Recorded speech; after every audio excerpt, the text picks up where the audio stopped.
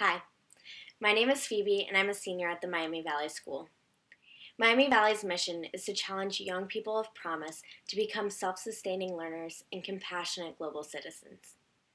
At Miami Valley, we offer a course called TED Technology, Entertainment, Design, which is based off TED Talks Ideas Worth Spreading. Why do we have this class? Well, the spreading of ideas has revolutionized. It used to be that the information people had were through books, local coffee shops full of gossip, and the occasional print items.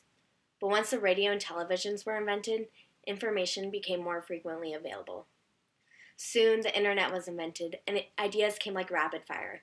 Social media websites allowed people not only to share ideas, but to have an opinion on them. YouTube videos have millions of views and are all subject for debate. TED videos are up in the millions also. But what does this have to do with TED class at the Miami Valley School? Well, in order to become compassionate global citizens, Miami Valley challenges us in a liberal arts education. They promote learning and becoming involved and interested in all courses of study. Traditionally, school courses include math, science, English, and history, and foreign language and art. But what most schools have forgotten are the romantics the ancient religions and philosophies. However, who and what is teaching us how to live now? Our education on basic life experiences in interaction and even in love are coming strictly from experience and observation. The divorce rate is at a robust 50% in America. Every day, a new celebrity I have never even heard of is getting divorced. And who is teaching us about healthy relationships? In this day and age, is a liberal arts education really all that we need? I believe yes, we do. It's very important. However, we also need education on the interaction on a human level, non traditional pursuits. We need a differentiator. And that is why Miami Valley is so unique. It allows us to have these things TED, videos that everyone watches, people casually think and discuss about Logan LaPlante's idea of hack schooling. But how many people have an organized class around those unique and extremely revolutionary videos? And how many people are instructed to form coherent responses to them? Not only are we gaining a fantastic education and learning from professionals in their field, but we're also learning from TED professionals. In this class so far, I've learned from Devdutt Pattanaik that belief systems are the root of clashing civilizations, and therefore, not everyone is going to agree with me. I've learned from Brene Brown that being vulnerable might actually mean that I'm happy. I've learned from Steve Jobs the importance of following your bliss.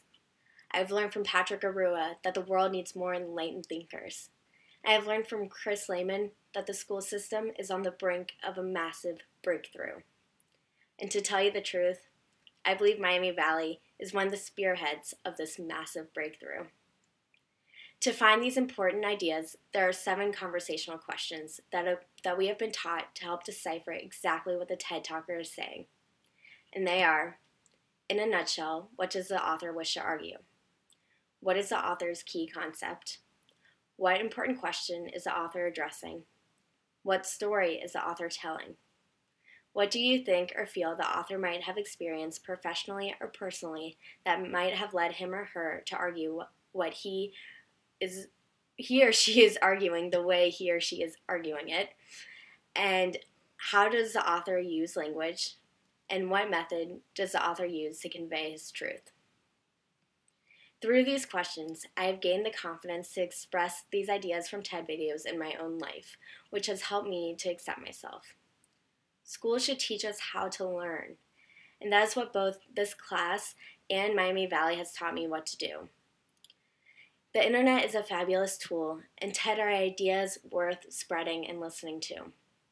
I believe that we should use it to our advantage to learn from the people who are professionals in their field, from the ones who have done their research, the ones who have experienced something important. This will help us become compassionate, global citizens. I believe that all of this extensive research point to one thing, and that is we're all different. We all have different likes, dislikes, habits, opinions, interests, physical features, and we all live differently, love differently, and learn differently. And you know what? As cliche as it is, I believe that's what makes the world beautiful. I think people need to take time to remember the, the importance of diversity and empathy. And something standard isn't what's right for everyone. So I leave you with a quote by Golda Meir, the former Prime Minister of Israel. And it is Trust yourself. Create the kind of self that you'll be happy to live with all your life. Make the most of yourself by fanning the tiny inner sparks of possibility into flames of achievement. Thank you.